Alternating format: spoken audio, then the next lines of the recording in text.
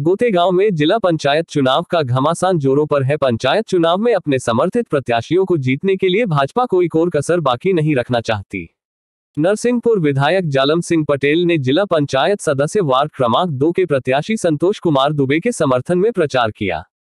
बेलखेड़ी पोनिया गुंदरई ग्राम में नरसिंहपुर विधायक जालम सिंह पटेल ने वोट मांगे। इस दौरान उन्होंने एक सभा को संबोधित किया और विकास के नाम पर संतोष दुबे को वोट देने की अपील की। मीडिया से बात करते हुए पटेल ने कहा कि भारतीय जनता पार्टी की सरकार का योजना का लाभ हर परिवार को मिला है और इसी को देखते हुए इस चुनाव में जनता भारतीय जनता पार्टी समर्थित प्रत्याशियों को जीत आएगी। जनसंपर्क के दौरान मौजूद रहे ठाकुर हेमेंद्र सिंह ओम प्रकाश पटेल, बीजेपी के समस्त कार्यकर्ता। किसान सम्मान निधि हो, संबल कार्ड हो, या वैक्सीनेशन हो, जितनी और भी, मैं ऐसा मानता हूँ कि मध्य प्रदेश में लगभग 200 योजनाएँ हैं।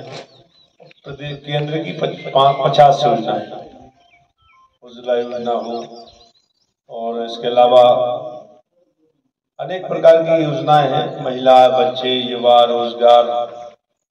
अगर आंकड़े बता तो पूरे देश में में अपन लोग जिस जिस ग्राम में अभी जा रहे हैं। तो इसके पूर्व जो भी जनप्रतिनिधि रहे हैं, उतना शायद वो विकास कार्य नहीं कर पाए, इसलिए इतना जन समर्थन अपन लोगों को मिल रहा है। और निश्चित ही संतोष महाराज जी के नेतृत्व में जो अपन चुनाव खड़े हैं और जो अपन लड़ रहे हैं, निश्चित ही सफलता मिलेगी। और लोगों का आप रुझान देख ही रहे हैं, जिस ग्राम में भी अपन जा रहे हैं अच्छा सहयोग मिल रहा है।